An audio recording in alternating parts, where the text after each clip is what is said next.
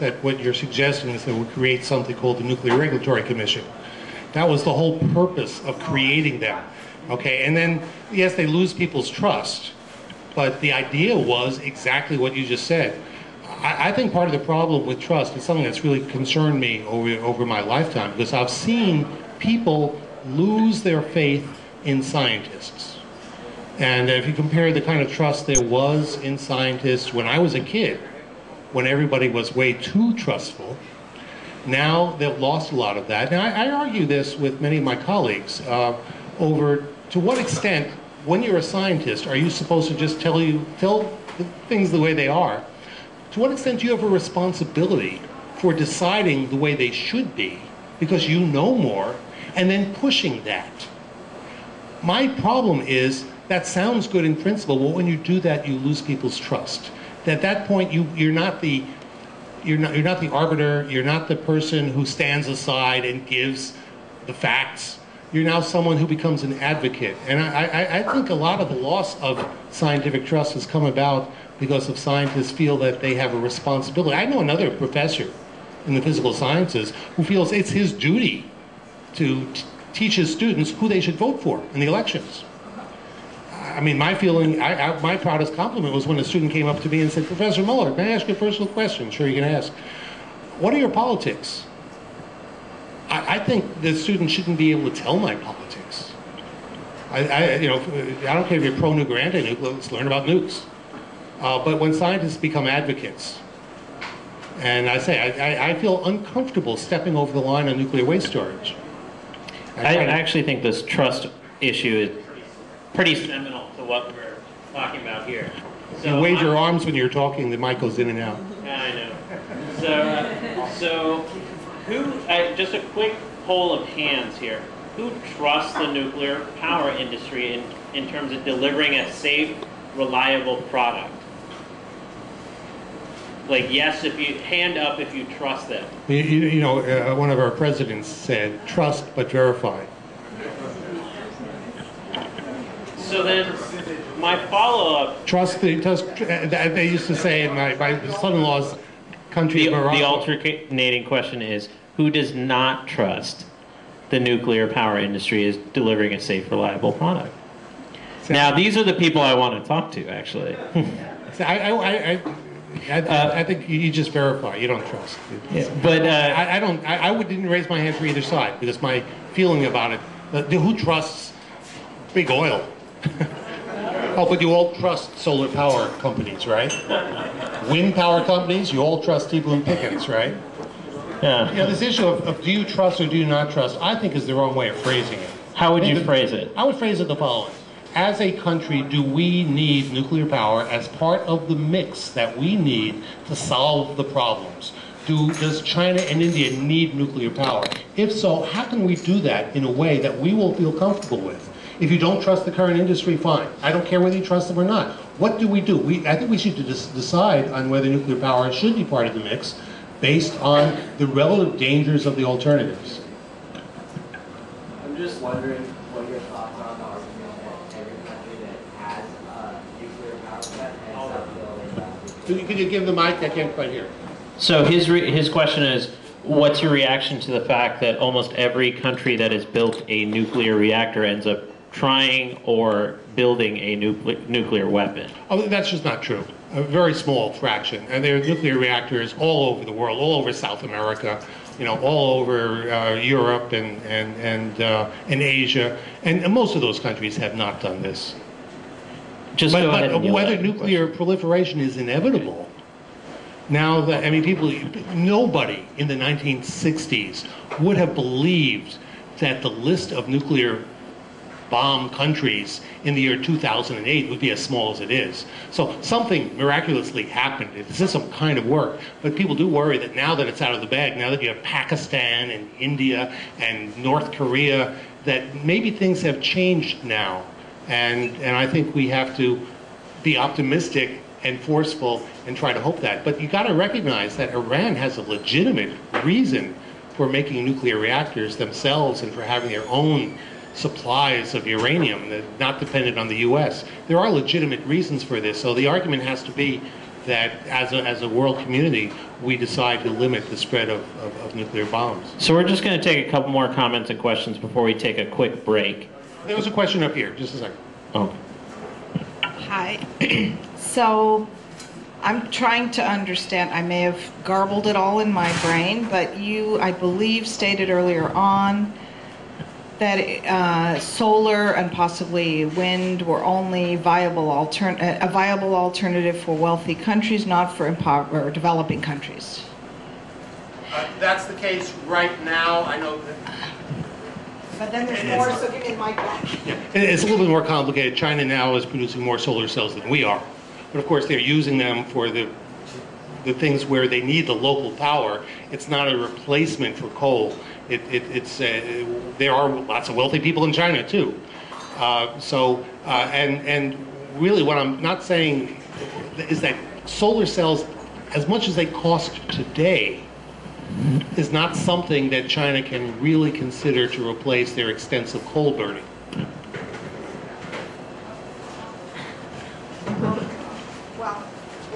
Later. Okay, we'll talk more about it no later. reaction to much area for America its present how much area, if you can say something like that, would you want to go just use solar, just, just Okay. the daytime?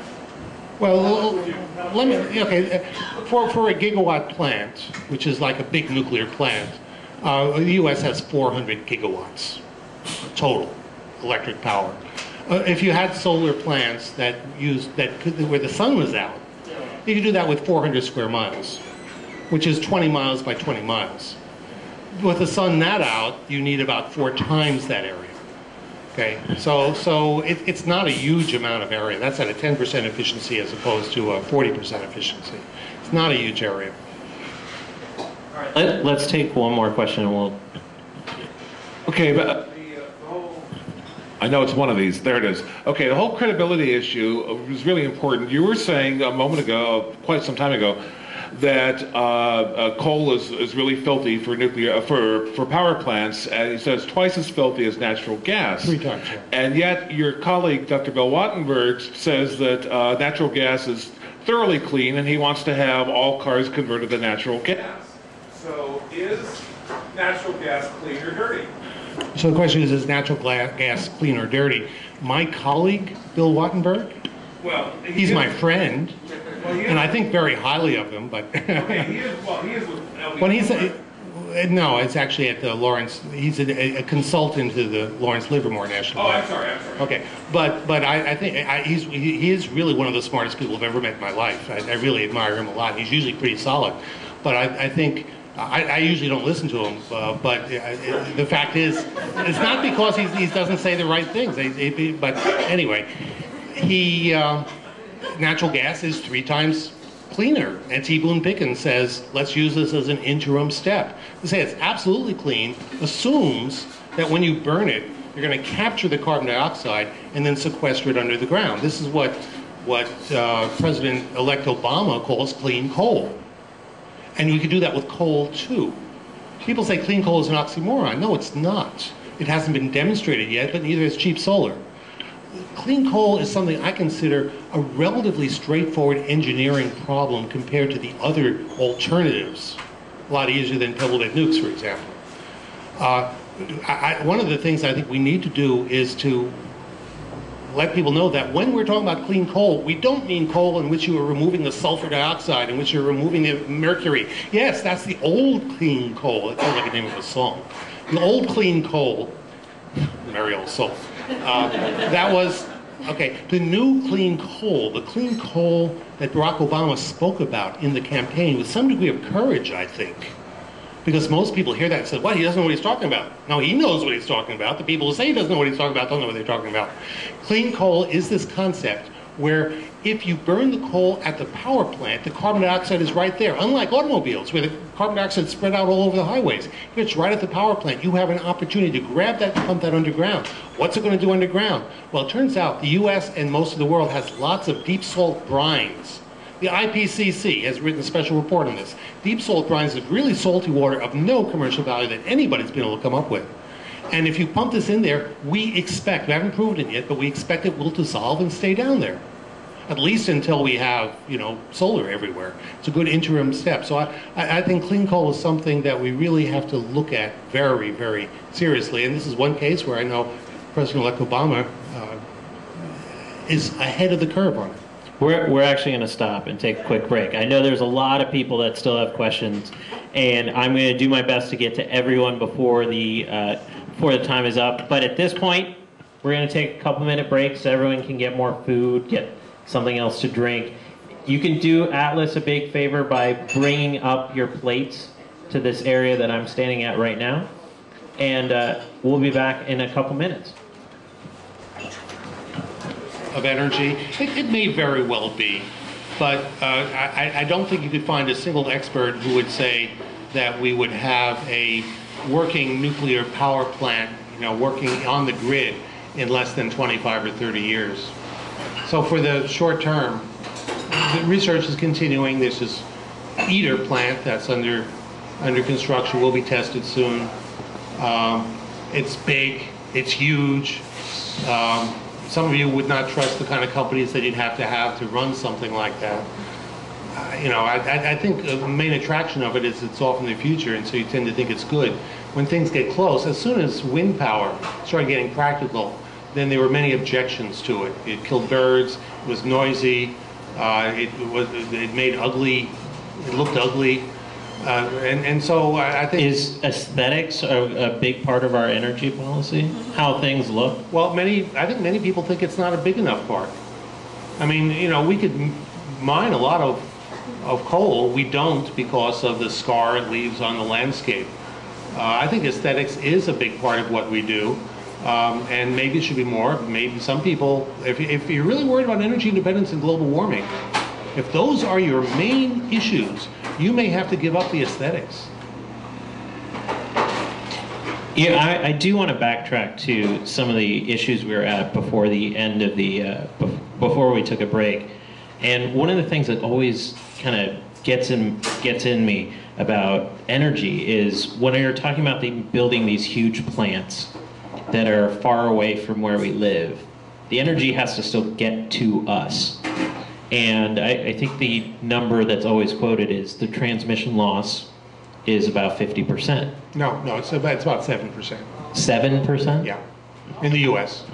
Seven, so from the nuclear plant to If, if we're that fifty light percent, right they'd there. build more power lines. uh, the, these days, uh, power lines are just expensive. If you want to build a thousand mile power line, you can do that. Okay, but it costs you a billion dollars, or, or four billion. So it's, it's kind of building a nuclear plant. So these power lines are expensive. And uh, T. Boone Pickens, for example, wants to use the wind corridor in the central U.S. and build lots of windmills. Just wants the U.S. to pay for uh, the power transmission. Well, the, the windmills are the cheap part. The power transmission is the expensive part. But hey, he's in it to make some money.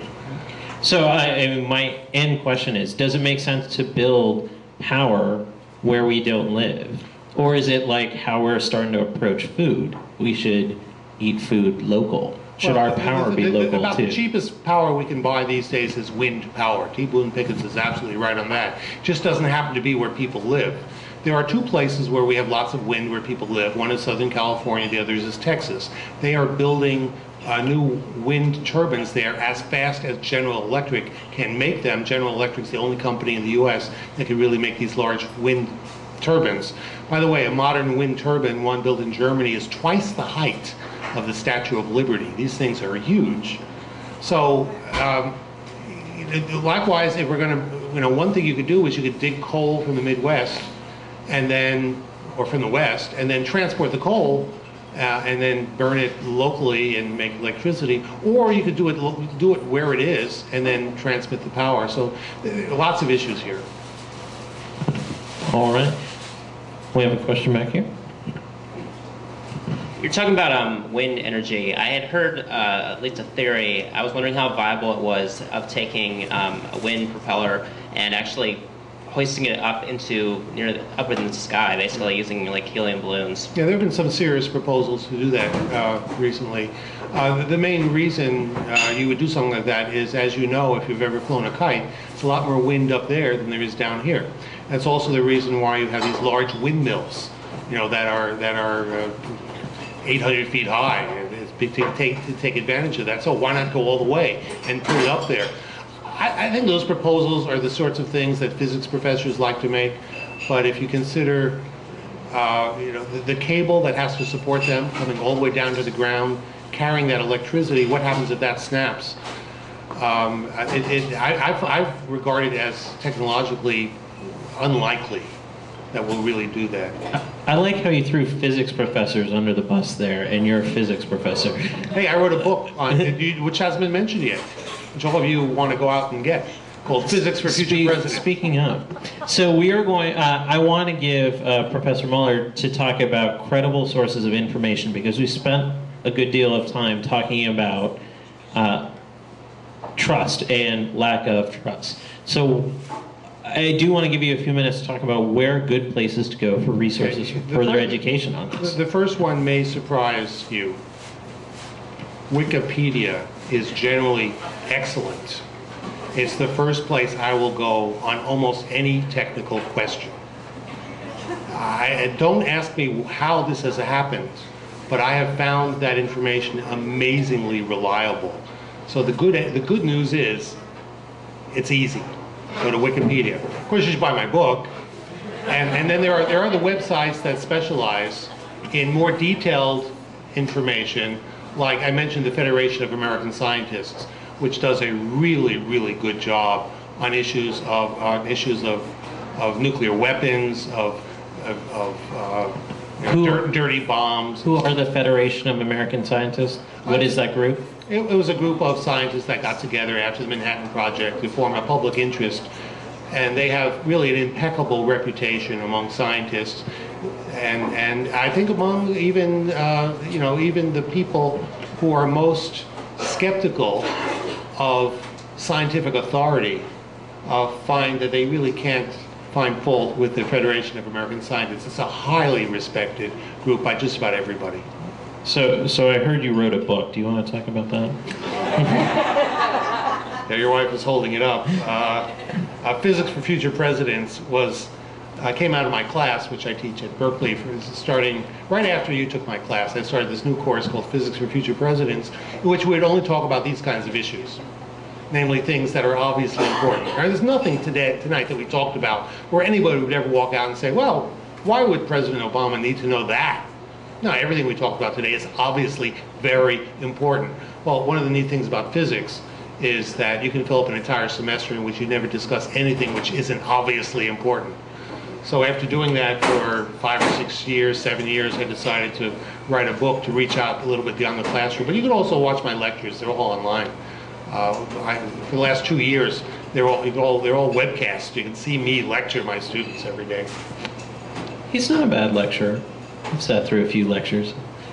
Uh, we're going to come back here, and then I'm going to come up front to you. Uh, so we've talked about a mix of energy solutions, including like wind, solar, and, and nuclear. Uh, is there a magic formula? Like, what's the right mix? So, uh, what, do- what do we need? What What do you think the right mix is? Well, I have no idea because I haven't really looked at the economics or the. Well, do you think a mix is the right solution? I'm going to waffle on this and say I think we should do what's most efficient. The waffle. well, uh, do people generally believe now that a mix is the right approach when it comes to? I don't. I don't think we're going to hear a lot of argument about this. Well, let me, let me I- well, I'd- I'd like to comment on that because I, I know you want to get the audience participating, but um, one thing we haven't mentioned here is energy efficiency and conservation. And the fact is, that is the big win for the near future.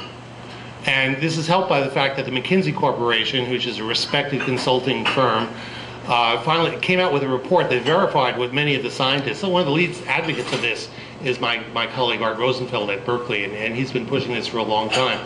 There is so much energy to be gained by using less that this is win-win. And uh, the McKinsey report showed in analyzing how we can reduce carbon emissions, by far the biggest winner was reducing the efficiency, I mean, improving the efficiency, reducing the emissions, leave the carbon underground where it belongs. And there's so much that can be gained here that if you, if, if you want to invest money, don't buy stocks. Go to your neighbor's house and say, I will reduce your electric bill in half if you'll give me half the savings. And then put insulation in the walls. Cover the paint with a nice brown paint that reflects the infrared radiation. Uh, the, the, the, the, roofs with the brown paint. There's so many things that can be done. So for the next 10 years, I think energy conservation is the big winner. But after that, is that- that brown paint about the aesthetics of energy use again? Yeah, actually- Making all, all of our houses brown? Actually, it is, because if you use white paint, it would be better. But people object to white paint. And you can make paint any color. We- It's called a cool paint. Look it up in Wikipedia. Cool paint. And, and actually, I don't know if there's an article there, but there should be. Maybe I'll write one. Cool paint reflects half of the energy which is in the infrared. And so it doesn't affect the aesthetics at all. And if you want people to buy into this, you know, everybody wants their neighbor to do something nice, but they don't want white roofs on their neighbors' houses.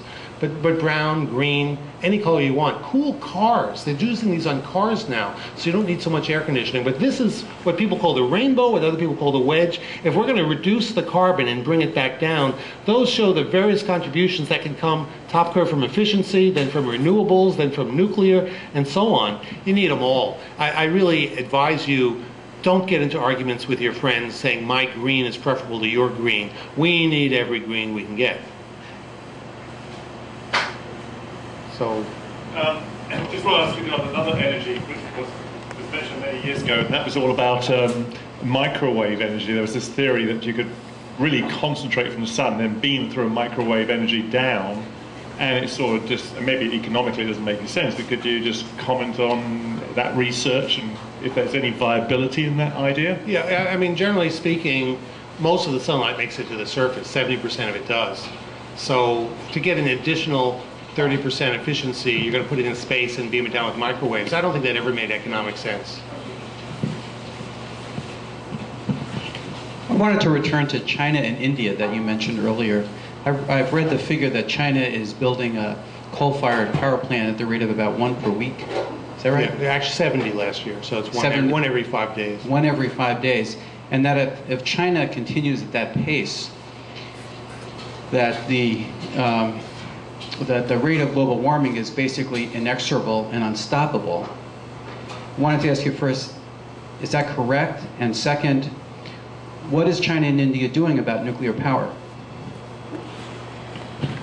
Okay, it, it is correct, and if you look at this plot, what you'll see is here's the U.S. doing more than its fair share. Excellent, we're leading the world again. Not anymore. now you see uh, China and India doing its share. We can do feel-good measures. Let me give an example of what I call a feel-good measure. Uh, we're ashamed of the world by not uh, ratifying Kyoto, the Kyoto Accord. So let's ratify them. Let's bring back our power. Let's bring our power down to here and, and, and really cut way, way, way back. Uh, that'll gain us, the total power will go down. This is actually the developing countries, but it'll be back up after three years. So it'll give us a three-year respite. Okay, and then it's gone. That's if we stay down here forever. So the problem is, the developing world deserves to be developed. I'm in favor of them developing.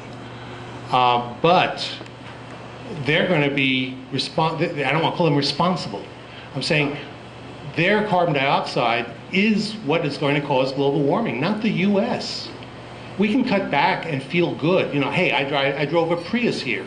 Hey, I feel really good. To me, that is a little bit like you're, the, you're worried about global poverty. And so you're walking through San Francisco and you see a beggar in the street. Instead of giving him a quarter, you give him 50 cents, and then you feel good. Well, we can do all sorts of feel-good measures in the U.S., but I wrote an article that just appeared in Foreign Policy yesterday on what advice I would give President Obama, and one of them is you've got to, you know, got to make it clear to the U.S., to the people of the U.S., that we have to take, maybe we have to pay for it, pay for the cutting for the carbon sequestration in China. They shouldn't have to pay for it; they're poor. But if we are the ones who are so worried about this, Anyway, and then, yeah, don't be poor, but by the time they're up, you see, we, they can say, oh, we, you know, let's set an example. We have set an example. The example we've set is that when you're wealthy, you can, you can use expensive clean power. If, if, if China does that same thing, then we'll have five or seven degrees of global warming. So, you know, setting an example doesn't really work. You asked about nuclear. They're building several new nuclear plants every year, too. But coal is dirt cheap.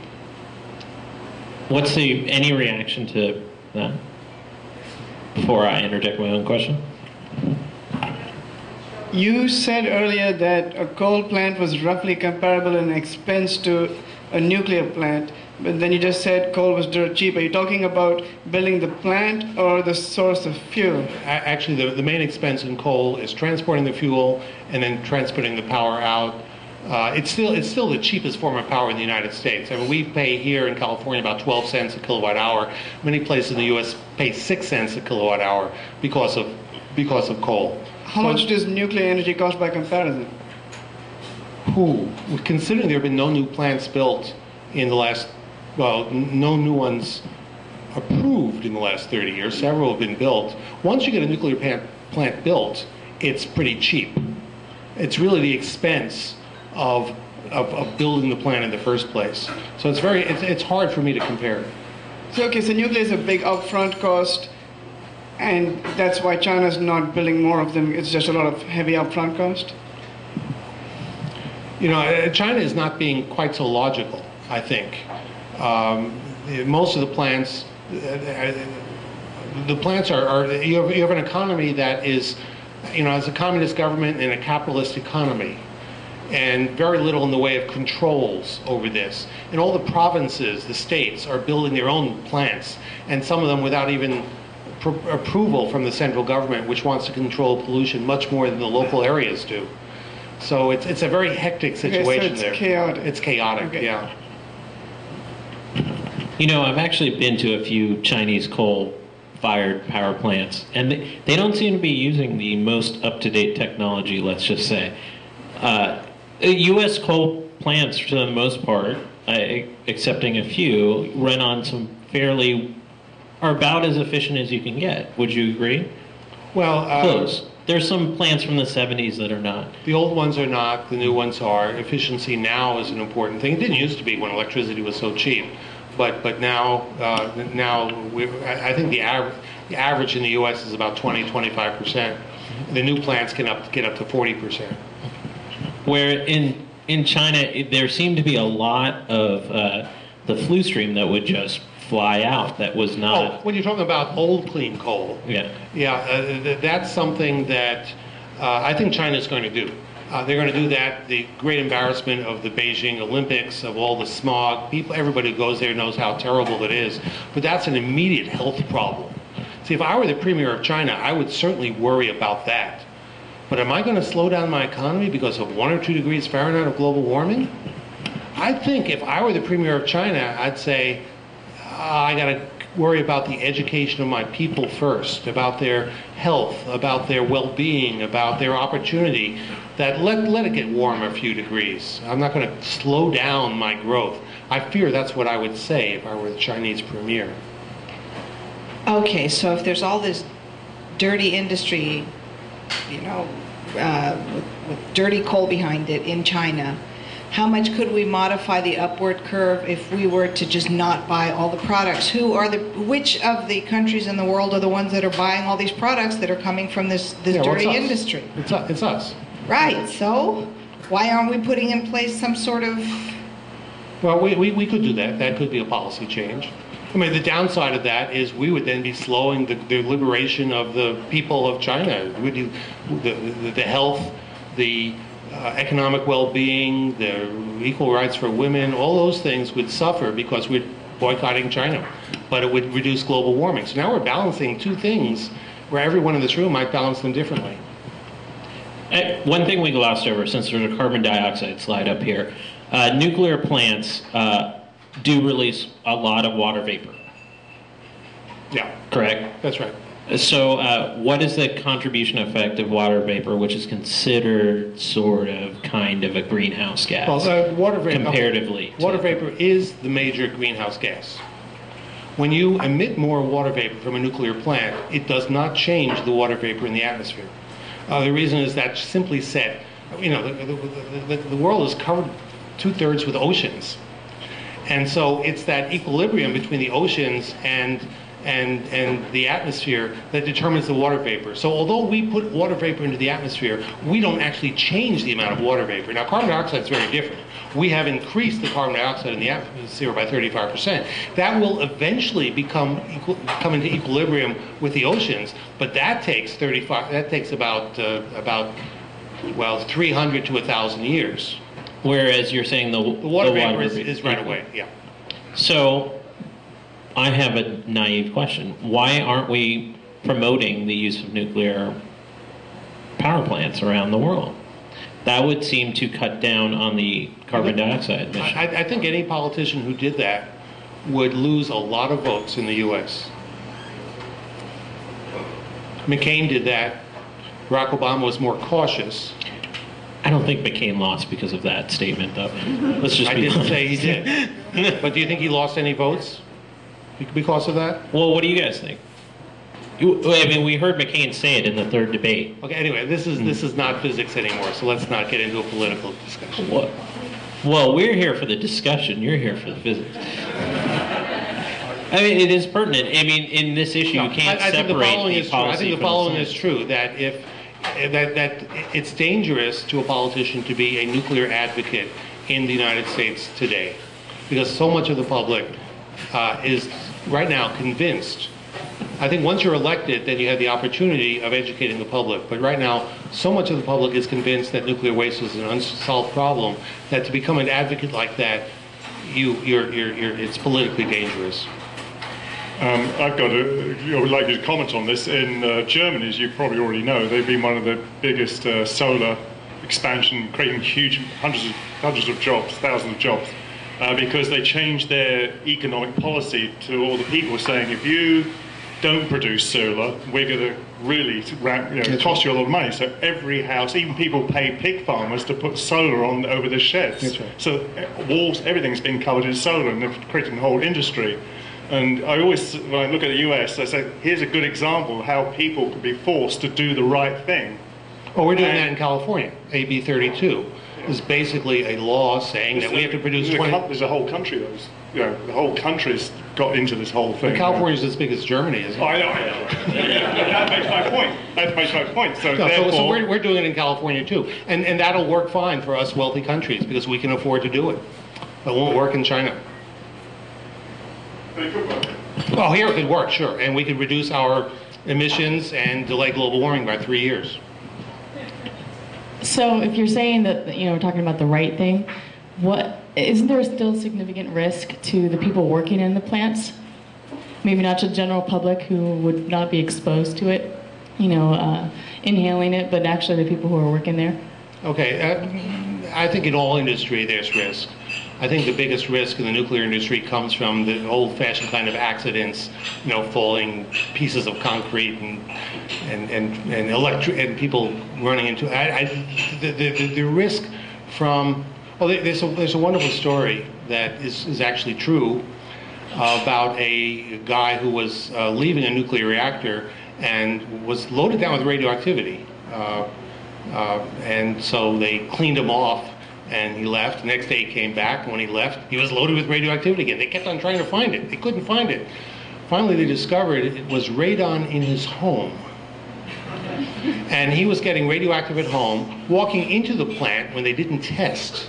And then when he came back out, being tested, they would not have found that if they weren't doing all this testing. So I think the radioactivity for the workers in the plant is really not much of a risk because it is so carefully monitored. It really is.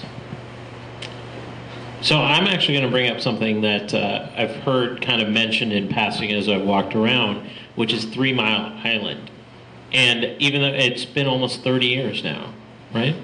And uh, I think I, I'm curious. That, does everyone, do people here remember Three Mile Island? Unless you're over 40, you're not going to remember it. But I mean, there's two seminal nuclear moments in our lifetime, and that's Chernobyl and Three Mile Island. In your lifetime, maybe. Okay. Uh, fine, in my lifetime. And You're uh, not that old. Do you remember it? no, I was. I didn't was- think so. Okay, I didn't think But so. I- I remember it. re- I've read about it. Yes. You remember it. What do you What do you remember about it?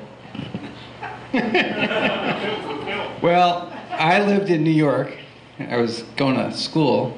And what I remember is a panic among my friends and a bunch of people driving down to Florida to escape the radiation plume. So what happened? Okay, well, this this was a different kind of accident, and it was was basically a nuclear meltdown, and it caused an overpressure in the reactor, and so they released some of the radioactivity to the outside. The amount that they released, again, just like Chernobyl, you can calculate the radioactivity of Chernobyl will lead to 24,000 deaths. You can calculate the release from uh, Three Mile Island will lead to less than one death. Um, but people say, okay, so it didn't happen, but it could have. It came so close. The real worry about Three Mile Island was, can you trust these guys when this actually happened? It happened to occur right after the movie The China Syndrome was released. And that really amplified the fear. Walter Cronkite uh, talked about, about Three Mile Island as the worst industrial accident that had ever occurred. And, and, you know, and he was the most trusted man in America. But um, uh, I, I calculated once that there would be more than one death, but it wasn't from the radioactivity, it was from the people evacuating. Uh, the fear, uh, maybe from smoking, because they were so worried about the radioactivity. Okay, so since we didn't have enough things to worry about, now you've got me wondering about the radon gas. Should we all be out getting these test kits? Radon gas is actually, I think, the most serious radioactivity worry in the United States. Uh, there are some houses that you should not live in uh, because ra- radon comes from the radioactivity of uranium in the ground.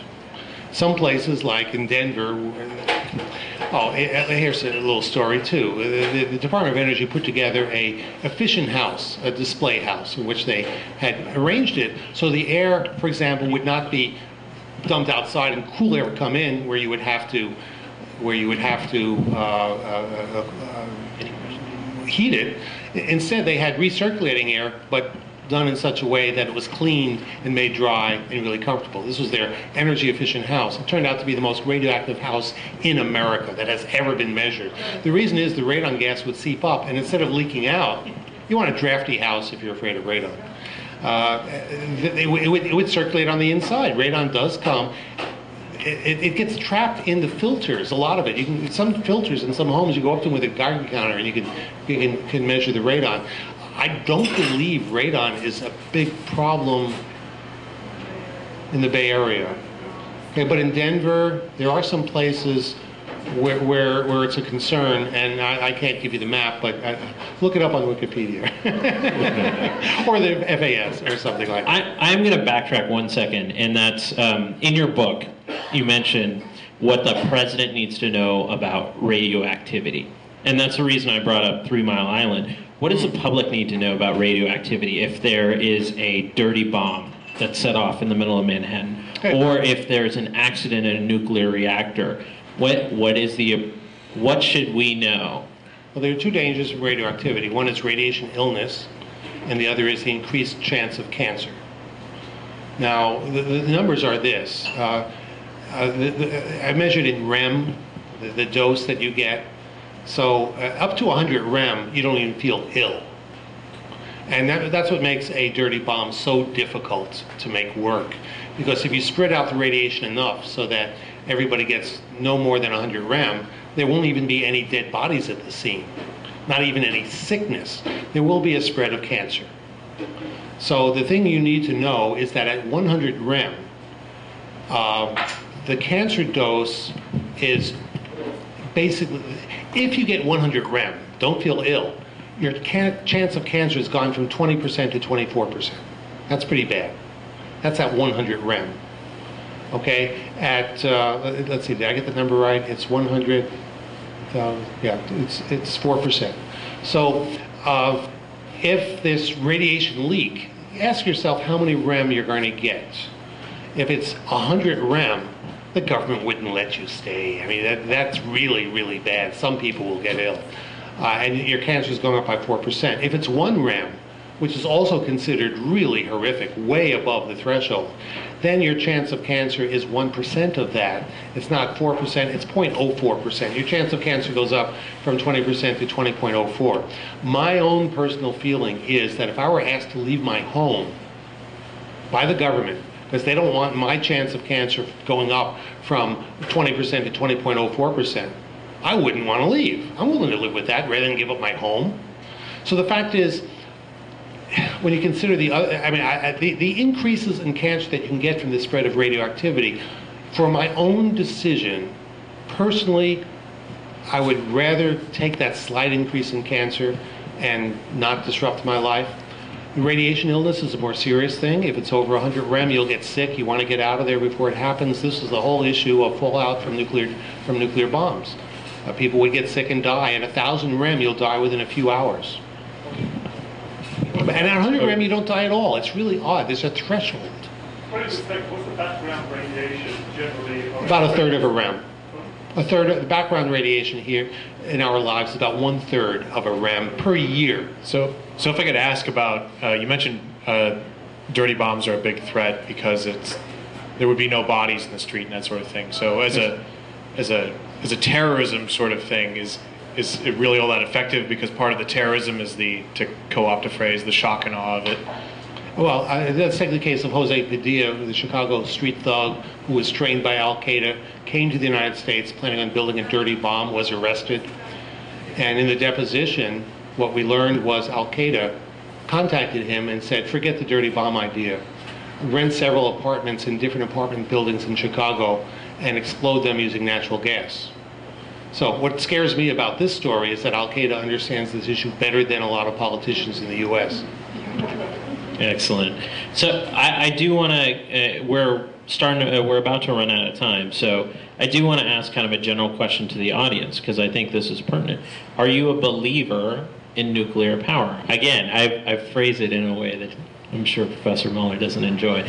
But is there something that, is there something that you're walking away with tonight that changes your perception of nuclear power? And I want to hear yes or no. You've been silent. I'm going to pick on you. Don't don't pick on her. So I came in here unsure of how dangerous the waste from a nuclear reactor was, and I was aware that France had been doing this for a long time with apparently no ill effect, and we hadn't been doing it, and I was concerned about that. So, having heard you speak about the waste, uh, this is no longer something that I'm terribly concerned about. A quick comment on France. There's a saying in France that is no coal, no oil, no choice. How about uh, anyone else? Did their perception change at all, unaffected? No one wants to talk to me in the back here. Well, I, I, I personally walked in and said, um, I, I, I kind of expected this. Like I expected that uh, that the waste issue, the science was purely behind that nuclear power was a reasonable alternative with appropriate safeguards, and my my reasoning hasn't changed at all. And in fact, uh, I'm more inspired to actually reverse the the sentiment against nuclear power now than I was two hours ago, because it seems like everything that we've talked about scientifically points to nuclear power being a reasonable alternative. But Everything we've talked about that is con- contrary to that is trust, credibility, uh, political will. Those are things that I think can be reversed through uh, action. I mean, that's my own personal feeling. I, I'm open to hearing other people's sentiments. Uh, what would you say to President Obama? To it sounds to me from this this discussion that people, are, whether they agree or not agree, there's a, a discussion here. What would you say to him to, to on a national scale to talk about these um, nuclear power? Because that seems to be the big problem that people aren't informed. They have a lot of myths, a lot of misunderstandings. Obviously, there's politics behind it, and it seems like that was a major thing he could do as far as an energy policy. I, I, think what I've I've written articles about this. I, I would really like to see President Obama have a monthly fireside chat in which he says, for the next hour, we're not going to be political, we're not going to be partisan. I just want the public to know what the experts think about some issues. It could be global warming, it could be nuclear power, it could be clean coal. It would be done in such a way, which I think can be done, in which you wouldn't, the Republicans wouldn't feel obliged to come up with a response because you could make it nonpartisan. It's just a matter of informing the public. Think of it as an infomercial if you want. But it has to be done right. I would love to see President Obama lead the country into saying our problems are too serious for you to let us do it on our own. We need to educate you. I'd love to see something like that take place.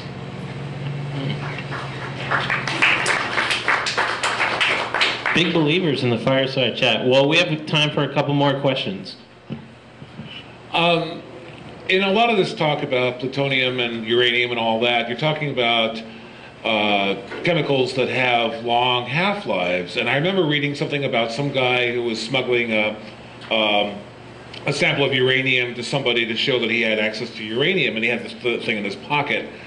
And so it led me to believe, well, okay, if you're talking about things that have long half-lives, then you're talking about very slow decay. So it's like the the the kinds of stuff that are being used in nuclear reactors are the safest kind of radiation that's available compared to stuff like radium and stuff like that in people's watches that have a half-life of like three years or something. So it would seem like, if anything, with all these various you know kinds of nuclear chemicals and stuff, the stuff in the nuclear reactors is among the safest available, isn't it? Well, it depends on whether you measure the safety over the next hundred years or whether you measure it over the next million years. You know, over a million years, uranium can kill lots of people. Over a hundred years, it's, it's these other elements that do it. So, I, you know, it, it, it, works both ways. There's something that's highly radioactive gets rid of it very quickly if you store it, and if it gets out, can make you sick. But you're, you're raising, I think, an excellent point, which is that uh, some people say that the trouble with plutonium is because it's such a long-lived radioactivity. Well, uh, aside from the solubility in water issue, long-lived isn't necessarily bad. As you say, uranium-235 has a billion-year half-life. Uranium-238 has a four and a half billion year half-life. So, uh, you know, I wouldn't be afraid to handle uranium in my hand. It's, the chemical of the uranium is more dangerous than the radioactivity because its half-life is so long. Put it in a nuclear reactor, put it in a bomb, and you can get every atom to explode in a short time through the chain reaction. But normally it's just not, it's not even warm. We have we have time for one more question if anyone has a question. Oh, perfect. Oh, right there, my wife has a question. I'll top it off with the silly question. Um, they always show nuclear waste being this glowing green liquid. What does it really look like? Oh, okay. Radium uh, is uh, glows. And Madame Curie saw that glowing uh, in, in, in the dark, and that's given us our image of it of its glowing. But the radium there was was really extremely dangerously radioactive. Uh, it it, uh, it it was enough that radioactivity is when the nucleus explodes, and the particle that comes out is, is typically an electron or an alpha particle. When that hits the air, it'll give off a little bit of light. If the light is enough that you can see it, then get out of there. but but you know, typical radioactive things, uh, a nuclear reactor. I, I, you you can look down into a nuclear reactor underwater. You can see, and it's glowing. But nuclear reactors are billions of times more radioactive than anything we get. Uh, there's nothing. Radioactive material is used in hospitals. Uh, it's used for CAT scans. It's used for PET scans. PET scans are positron emission tomography. They actually use antimatter in hospitals. None of that stuff glows. Uh, the radioactivity that you need to get to glow is, is well, as I say, Madame Curie uh, had material that hot, but but not anymore. Well, with that, I want to thank Professor Muller for coming out tonight.